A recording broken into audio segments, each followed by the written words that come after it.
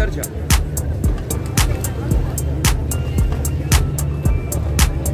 Çubuklu, Paşabahçe, Beykoz seferi yapılacaktır.